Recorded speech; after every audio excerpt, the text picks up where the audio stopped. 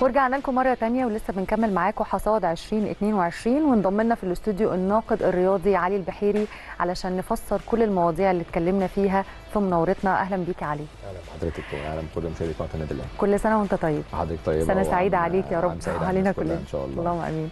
آه، بتشوف إزاي تنظيم مصر لعدد من البطولات في 2022 يمكن طبعا مصر آه، يعني في عام 22 استضافت بطولات كتيرة جدا في مختلف الألعاب الرياضية طبعا. في السلة وفي ال في ال في اليد وفي ال- الاسكواش وفي الجمباز والخماسي الحديث والسلاح. يمكن بطولات دولية كبيرة جدا مش بس بطولات محلية بطولات قارية دي كمان بطولات دولية وعالمية. أنا بشوف إن ده مهم جدا للبلد آه، سواء من الجانب ال- السياحي أو الاستثماري وكمان من الجانب الرياضي وجانب الاحتكاك الدولي مع لاعبتنا يعني في كل ال ال ال الرياضات يعني. فطبعا ده حاجة كويسة جدا. حصل ده كمان في 2021 بطولات كتيرة جدا. في 22 آه، 2022 كملنا بطولات كتيرة جدا. وده حاجة كويسة جدا لمصر وكمان لأبطال مصر في كل ال- الرياضات. فأنا شايفها كانت كانت حاجة كويسة جدا في العام ده يعني. بتشوف بقى إزاي تتويج رياضيين في محافل دولية؟ إحنا شفنا في كل الألعاب تقريبا. وطبعا محمد صلاح في الكورة. كلمني عن ده أهمية تتويج الرياضيين في السنة دي في محافل دولية كتير جدا. آه، يمكن عام 22 آه، جه بعد أولمبياد طوكيو في 2021 فطبعا كنا عايزين نستكمل إنجازات مصر في كل الرياضات. يمكن السنة دي كان أكبر حدث آه، في في في, في يعني في 2022 بالنسبة لمصر كان دوره العاب بحر المتوسط في في الجزائر. دوره البحر المتوسط يعتبر بعد الأولمبياد على طول أو هي ال- المنا- المنافسة الأكبر اللي فيها دول عالمية ودول أفريقية وعربية وكل حاجة يعني وآسيوية. فأنا شايف إن مصر حققت فيها إنجازات كويسة مش بس من عدد الميداليات مصر يمكن حققت 51 ميدالية سواء 13 ذهبية أو 15 فضية أو حتى 23 برونزية. لكن مش ده بس اللي أنا هتكلم عليه. اللي أنا عايز أتكلم عليه إن مصر حققت إنجازات لأول مرة بتحصل. ميداليات لأول مرة بتحقق في ألعاب مصر ما حققتش فيها حاجات. يمكن كان في ذهبية في السلاح لأول مرة كان في في الريشه الطايرة كان أول مرة برضو ميدالية. يمكن في الملاكمه النسائية أول مرة في تاريخ مصر في الملاكمه النسائية نجيب ميدالية بحر المتوسط. يمكن منتخب كرة اليد المشرف طبعا عالميا في كل المحافل. طبعا. يمكن خسر للأسف في النهائي خد فضية دوري البحر المتوسط. خسر قدام اسبانيا لكن هو منتخب مشرف. يمكن خد في نفس السنة السنة دي برضو خد آه، بطولة أمم الأفريقية المره الثامنه في تاريخه هنا اللي اقيمت في صاله حسن مصطفى. وتاهل طبعا هيلعب بطولة العالم إن شاء الله في شهر يناير الجاي في بولندا والسويد. فأنا شايف إن مصر حققت إنجازات كبيرة جدا آه، في ال- في 2022 على مستوى الألعاب الأخرى.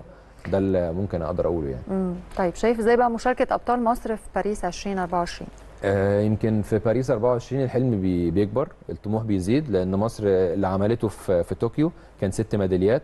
يمكن الدكتور أشرف صبحي وزير الشباب والرياضة أو مهندس هشام حطب رئيس اللجنة الأولمبية المصرية اتكلموا إن اللي إحنا حصل في طوكيو إحنا هنكمل عليه في باريس وإن إحنا هنزود كمان العدد. يمكن بيتوقعوا إن يكون في 10 ميداليات على الأقل في أولمبياد باريس 2024 وأنا شايف إن ده رقم منطقي يعني بال- بالنسبة للإنجازات اللي بتحصل دلوقتي أو حصلت في في أولمبياد طوكيو فأعتقد إن في باريس لازم يكون العدد أكبر ولازم نشوف إنجازات أكبر في أبطالنا لأن إحنا كمان ما شاء الله بنحتك دوليا في كل الرياضات وبنسافر بره مش بس في لعبة أو اتنين لأ في حوالي 20 أو 21 لعبة. فأنا شايف إن إحنا عندنا إنجازات نقدر نبني بيها على باريس وإن شاء الله باريس يبقى الإنجاز الأكبر يعني. إن شاء الله. طبعا. نروح بقى للنادي الأهلي. خلينا نبتدي الأول من الألعاب الأخرى 2022 شا- شايف السنة دي في الرياضات الأخرى كانت عاملة إزاي للنادي الأهلي؟ يمكن الرابح الأكبر في النادي الأهلي في في في 2022 كان كره السلة. أيوه صح. يمكن كره السلة أوجوستي بوش طبعا المدير الفني الأسباني آه. العبقري أنا بصفه بالعبقري هو ساحر لأن هو لما دخل مصر من سنتين لما دخل مسك نادي الزمالك حقق معاه بطوله الدوري وأفريقيا بعد كده انتقل للنادي الأهلي. هو آه، خد خمس بطولات محققة من خمس بطولات ممكنة. خد الدوري وخد السوبر خد كأس مصر ودوري المرتبط آه، يعني وخد خد خمس بطولات يعني محققة في الموسم كان موسم تاريخي. لأول مرة في تاريخ النادي الأهلي بياخد خمسة من خمسة في كرة السلة وهو كمان مطور من ونقول إن هم ما كانوش خمسة سهلين يعني ما كانتش. بطولات سهلة جات لك على طبق من ذهب. لا طبعا يمكن بطولة عربية. لأول مرة في تاريخ النادي الأهلي بياخد بطولة عربية كانت في الكويت. آه، كانت يعني حاجة كبيرة جدا. يمكن إنك تاخد بطولة sorry كانت كانت في مصر الأولانية. آه، منتخب مصر آه، النادي الأهلي لما ياخد بطولة عربية مع مدرب لسه جاي وفي نفس الوقت بيطور من لعيبة وكمان بي بيصعد لعيبة شباب وبيظهر كمان كرة السلة بشكل كويس مش بس ال- الأهلي كمان كرة السلة المصرية وبتنافس مع فرق زي الاتحاد السكندري وزي سبورتنج والجزيرة والزمالك. فلا فأنا شايف إن كرة السلة هي الرابح الأكبر وكمان عندنا امل ان شاء الله في الموسم ده ان إحنا نحقق بطولات أكتر. كمان عندنا كمان بطولة آه، دوري ابطال افريقيا البال طبعا دي بطولة مهمة جدا. النادي الأهلي طبعا عينه على اللقب وهيدعم صفوفه طبعا في الفترة الجاية عشان ياخد اللقب. فأنا شايف إن شايف إن إحنا قادرين أكيد إن شاء أو إيه الله اللي طبعا. ممكن نعمله علشان ناخد آه، طبعا اللعيبة اللي موجودة كويسة جدا. المدير الفني مستقر والدنيا ماشية تمام كويس والإدارة بتدعم. لكن طبعا أكيد في صفقات يمكن في البال اللعيبة الأهلي طبعا بيدعم كذا لاعب أجنبي سواء أفارقة أو أجانب. فأنا شايف إن الأهلي أكيد هيدعم وعينه إن هو يدعمهم أكيد مخلص لعيبة يعني في الموضوع ده. فأنا شايف إن إن شاء الله فرصتنا كبيرة لأن الأهلي في كرة السلة معاه مدرب عبقري معاه لعيبة وجهاز فني على أعلى مستوى اللي اتحقق الموسم اللي فات ما كانش صدفة. كان فعلا تخطيط وكان فعلا آه، تركيز وكان في إصرار. فأنا شايف إن كرة السلة في النادي الأهلي هي الرابح الأكبر هذا الموسم.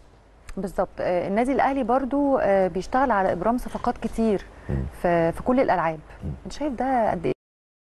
مهم جدا لأن أنا شايف إن النادي الأهلي السنة دي في 2022 أبرم العديد من الصفقات مش بس في ال في ال في فرق الرجال لأ فرق النساء كمان. أنا شايف الأهلي في الطايرة وفي السلة وفي اليد جايب لكل حتى في الجمباز في ناس من التشيك برضه جايين يمسكوا منتخب أو النادي الأهلي في الجمباز فرق الجمباز. فلأ فالنادي الأهلي بيطور في كل الالعاب يمكن كمان لو عايزين نتكلم على إنجازات الأهلي كمان في الألعاب الأخرى مش بس عشان إحنا قلنا كرة السلة بس بالظبط. لا ممكن نتكلم إن كرة الطايرة هو للأسف كان موسم محلي ما كانش قوي يمكن خسر الدوري والكاس لكن قدر يعوض بطولة أفريقيا. النادي الأهلي هو أكتر فريق حقق بطولة أفريقيا في كرة الطايرة سواء رجال أو سيدات وأكتر نادي في العالم قاريه في كرة الطايرة. فدي حاجة إنجاز كبير جدا. يمكن الأهلي عوض الخسارة المحلية وخد أفريقيا. في السيدات كسبنا الدوري والكاس وخسرنا أفريقيا لكن كان موسم كويس. آه، في اليد الأهلي كسب السوبر الأفريقي اتأهل لكأس العالم للأندية كان في السعودية قدر يتأهل لنصف النهائي ال- كأول فريق عربي ومصري من فترة كبيرة جدا. خد المركز الر... نهى المركز الرابع للأسف ما خدش البرونزية. بس فريق كرة اليد قادم بقوة وتعاقد مع مدير الفني السابق لمنتخب مصر الاسباني ديفيد ديفيز. فأنا شايف إن برده ماشيين كويس. اللي عايز أتكلم عليه تنس طاولة هنا جودة طبعا يعني ما أقدرش أسكت عن رائعة. حاجة زي هنا جودة موهبة. وموهبة فذة وعظيمة ومعجزة فعلا في تنس طاولة البنت دي لازم مصر تهتم بيها لازم النادي الأهلي يفضل يدعمها لأن البنت دي مستقبل مصر في أولمبياد إن إحنا ناخد ميدالية في تنس الطاوله اول مرة في تاريخنا وهي قادمة بقوة وهي فعلا بت- بتأدي في كل بطولات مع ناس تفوقها في العمر ب 20 و30 سنة. فأنا شايف إن هنا جودة السنة دي حققت بطولات كتيرة جدا وكمان شاركت في اولمبياد يعني في أولمبياد طوكيو زفت سافرت مع البعثه ما شاركتش بس كانت موجودة وهي بتعمل إنجازات كتيرة جدا وهي موهبة أنا يعني بقول ربنا يحميها وإن شاء الله تقدر تشرف مصر والنادي الأهلي وتجيب ميدالية أولمبية قريب إن شاء الله. لو هنتكلم كمان على السكواش عندنا مصطفى عسل طبعا. طبعا. نجم النادي الأهلي المسمى طبعا بال tiger. هو فعلا tiger لأن هو السنة دي حقق بطولات كتيره جدا. يمكن امبارح طلع التصنيف الدولي للمحترفين السكواش هو وصل للمركز الثاني عالميا. وكتب على صفحته إن هو إن شاء الله هيفرح جماهير النادي الأهلي إن هو إن شاء الله يبقى المركز الأول عالميا. وأنا واثق في أنا مصطفى بقى عسل بحب حاجة في مصطفى إن هو تحسه غير إن هو لعيب سكواش في النادي الأهلي هو تحسه من الجمهور. أيوه. يعني تفهمة اللي هو عايز يفرحهم آه قوي. آه آه تحسيه أهلاويته كده واضحة. يعني في مصطفى عسل مصطفى عسل صديق شخصي ليا هو آه، أهلاوي جدا مشجع. درجة ثالثه في نفس الوقت هو مش لاعب سكواش عادي. هو دايما بيبقى فيه انتقادات ليه لأن هو بيعمل احتفالات وحاجات مؤمن زكريا والاحتفالات اللي بيعملها. دي. لكن هو مشجع درجة ثالثه أهلاوي حتى النخاع وكمان عقليته ال mentality بتاعته غير أي لاعب سكواش في مصر. أنا بشوف كده. وعشان كده هو وصل السنة دي لسه واخد بطولة هونج كونج للسكواش دولية لسه واخد بطولة العالم للجامعات دخلت النادي الأهلي على اسم مصطفى عسل. فأنا شايف إن مصطفى عسل وكمان امبارح بقى الثاني عالميا. فأنا شايف إن مصطفى عسل كمان هيقدر يقدم الفترة الجاية ويبقى الأول عالميا وأنا واثق في, في هذا البطل يعني. ويأمننا من الجيل اللي فات لأن إحنا كنا في فترة كده خايفين شوية. مصر متصدرة في الاسكواش فكنا خايفين هو الجيل الجديد هيقدر يكمل ولا مش هيكمل. فاللي زي مصطفى عسل بيطمنك إنه لأ أنت هتفضل متصدر لا. أكيد طبعا مصطفى عسل ومش عايز أقول بس مصطفى أنا بتكلم عشان النادي الأهلي مصطفى عسل لكن في طبعا كريم عبد الجواد وفي طارق مؤمن وفي فارس دسوقي وفي يوسف سليمان في لعيبة كتيرة جدا في من- في, في السكواش في مصر يقدروا يعملوا حاجات. وكمان في السيدات طبعا طبعا نور نور نور الشربيني نوران جوهر هانيا الحمامي الصاعدة بقوة. في أكتر من لعيبة طبعا يقدروا يحققوا إنجازات فلكن على النادي الأهلي مصطفى عسل طبعا هو يعني الرابح الأكبر في السكواش والسنة دي كان موسم مميز بالنسبة له وختمه إن هو المركز الثاني عالميا إن شاء الله. السنة الجاية نشوفه ال- الأول. عالميا إن شاء الله. آه، يمكن بتقول المنتاليتي بتاعت مصطفى عسل مختلفة زي آه، هنا يعني بيبقى عندهم إيه مختلف يخلوهم يخليهم فعلا أنت دلوقتي لما بتتكلم عليه تقول أنا عارفة إن هو إحنا عارفين إن هو مصطفى هيعمل وهيحقق مختلفين في الفكر إزاي؟ مصطفى عسل عنده هدف. يعني هو لاعب بيخطط لنفسه. هو هي اولا. عنده فريق عمل عنده دكتور تغذية وعنده دكتور نفسي وعنده دكتور ريبي آه. وعنده طبعا مدير أعمال. فهو مصطفى عسل مش شغال بالصدفة. مصطفى عسل عنده sponsors وعنده النادي الأهلي بيدعمه وهو لعيب كبير. في نفس الوقت هو بيفكر mentality بتاعته اللي هو أنا هكسب. أنا خسرت النهارده أنا هعاقب نفسي. هنزل أتمرن أكتر عشان بكرة هكسب. هو فعلا خسر السنة دي مثلا بطولة بعدها عوضها. السنة دي هو بيختم الموسم أحلى ما يمكن. إنه مركز تاني عالميا واخد العالم الجامعات. واخد بطولة هونج كونج الدولية قبلها كان واخد بطولة فلا يعني مصطفى عسل بي بي بيتطور وهو لسه صغير طبعا وشاب لكن أنا شايفه ان هو مستقبل مصر في الاسكواش الفترة الجاية زي ما سبقوا طبعا نجوم كبار في في اللعبة. في مصر يعني.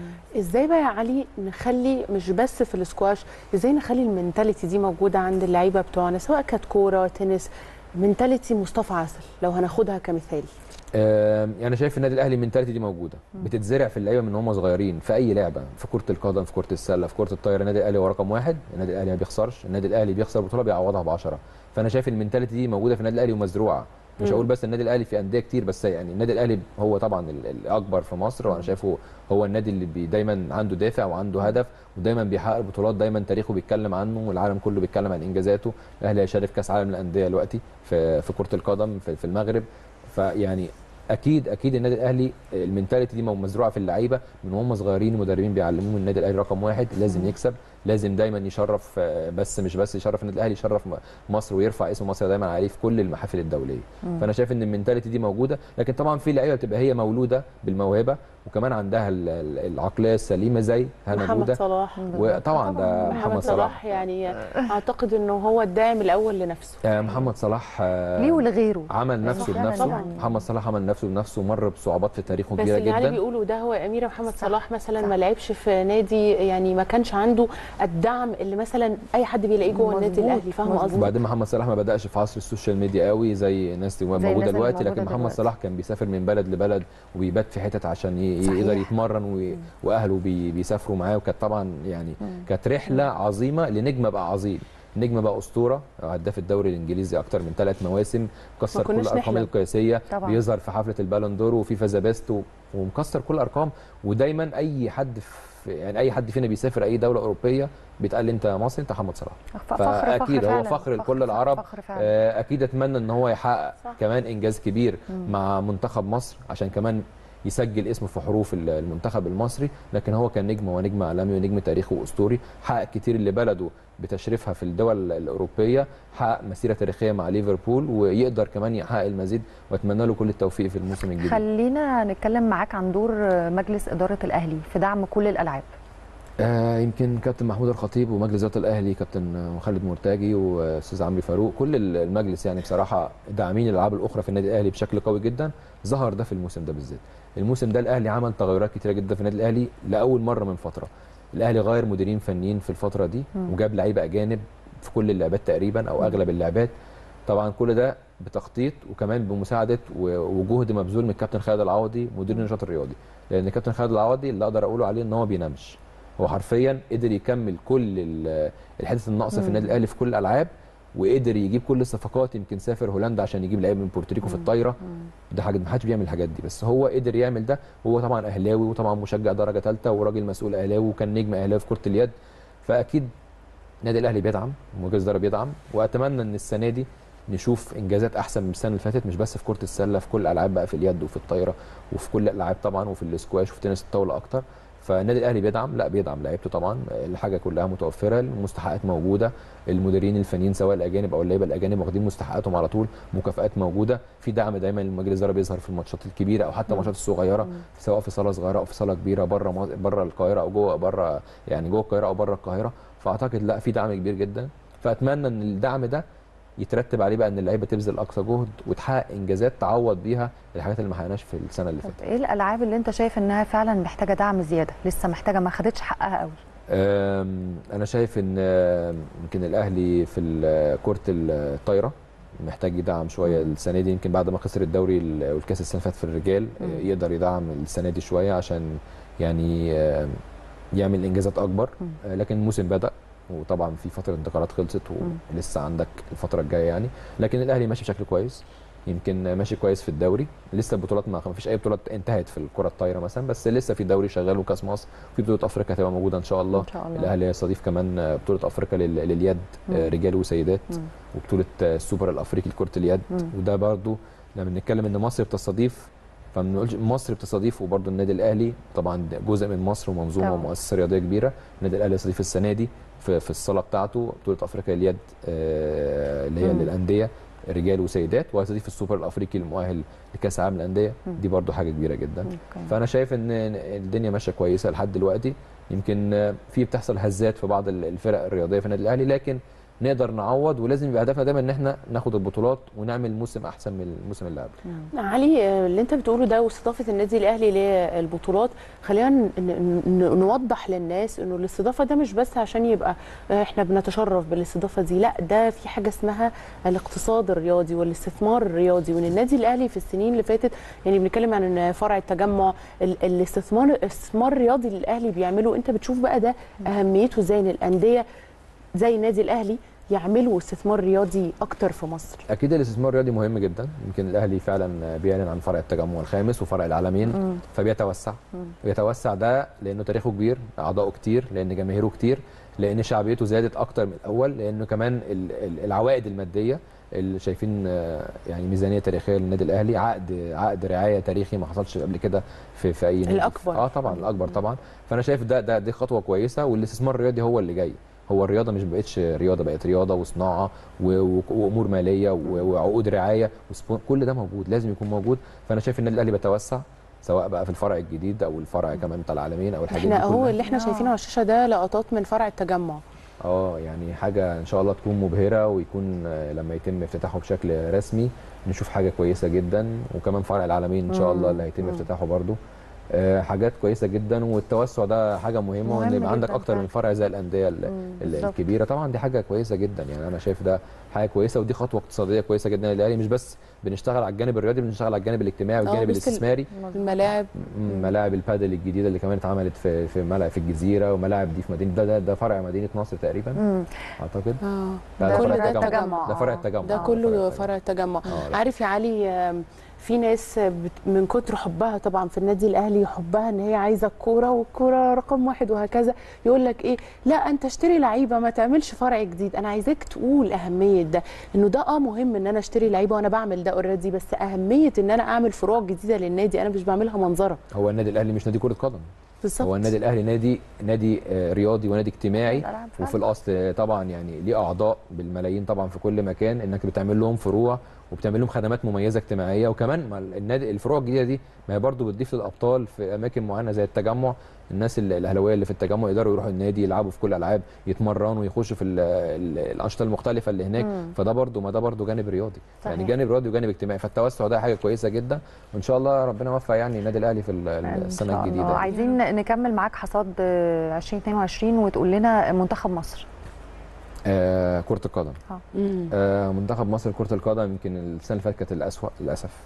الأسوأ في كل حاجة يمكن نتائج وأزمات وحاجات ما كناش نتمناها. يمكن فقدنا كأس الأمم الأفريقية من السنغال. وللأسف كانت لعنة السنغال تاني في كأس العالم. ما صعدناش كأس العالم. يمكن شفنا كأس العالم في, رو... في قطر. كان كأس عالم أو نسخة تاريخية. كان الناس كلها بتتكلم عن منتخب المغرب واللي حققه. وكلنا كنا. بنشجع المغرب. كلنا كنا بنشجع السعودية لما كسبت الأرجنتين. كأس العالم كان مميز جدا في دولة عربية زي قطر عملت آه، تنظيم تاريخي. كنا نتمنى منتخب مصر يكون متواجد آه، لكن آه، منتخب مصر مر بس- بسنة مش كويسة. لكن أتمنى إن السنة الجاية الدنيا تتظبط شوية مع المدير الفني روي ريو فيتوريا أو رو فيتوريا. إن شاء الله. يكون الدنيا أحسن شوية. نقدر ناخد كأس الأمم الأفريقية اللي جاية ونقدر نتأهل كأس العالم اللي جاي في في أمريكا وكندا والمكسيك. آه، الموضوع مش مش صعب بس هو بالتخطيط وبالاجتهاد وبإنك تمشي صح هتوصل صح زي منتخب المغرب. فأنا شايف إن إحنا لازم نمشي صح عشان نعوض اللي فاتنا لأن إحنا منتخب مصر ما ينفعش يبقى مصنف رابع عربيا ولا افريقيا ما ياخدش كأس أمم أفريقية. إحنا كنا بناخد مع كابتن حسن شحاتة ثلاثة أمم أفريقيا ورا بعض ورحنا كأس عالم مع كوبر. فلا آه، عايز أسألك على ده قبل ما وقت فقرتنا يخلص المدرب المصري ولا الأجنبي ولا ما فيش فرق؟ لا أنا. شايفها أنا شايفها أنا شايفها عادية. لا ممكن مدرب مصري وممكن مدرب وطني وممكن مدرب أجنبي. لا مم. هي الفكرة في التخطيط. أنت لو مدرب وطني هيوصلك وأنت هتخطط له صح هيحقق إنجازات زي كابتن حسن شحاتة. لو مدرب أجنبي ما كوبر وصلنا كأس عالم. آه مم. ممكن نختلف على طريقة اللعب ممكن نختلف على أي حاجة لكن وصلك كأس عالم. آه في الآخر رحت وخسرت ورجعت بس مدرب السعودية. مدرب السعودية. مثلا. مدرب السعودية يعني هيرفي رينال مدرب فرنسي قوي جدا من أفضل المدربين في أفريقيا. أنا شايفه مدرب عبقري. كنا ممكن نتعاقد معاه من سنين لكن للأسف حصلت أزمات وحصلت مشاكل وما تعاقدناش معاه. أهو الوقت بيشرف. دلوقتي ب... آه طبعا. ب... بخمس أضعاف آه. الفلوس اللي كنا- أيوه. إحنا وليد الركراكي وليد الركراكي مدرب وطني مغربي شاب عنده حاجة و40 سنة. وصل بالمغرب لأكبر إنجاز عربي وأفريقي في تاريخ كأس العالم. فحاجة طبعا تاريخية وحاجة كبيرة جدا. أتمنى أنا أتمنى كعلي إن أشوف مدرب وطني بيوصل منتخب مصر لكأس العالم وبياخد معاهم كأس أفريقيا زي كابتن حسن شحاتة ويكرر الإنجازات دي. هيحصل بجد إن أكيد. شاء الله. يعني بشكرك جدا وكل سنة وأنت طيب. وإن شاء الله طيب. من مكاننا هنا بندعم منتخب مصر وبندعم الأهلي وإن شاء الله نحقق كل البطولات. للأسف خلصت فقرتنا. هنطلع فاصل ونرجع نكمل فقرات البرنامج. استنوني.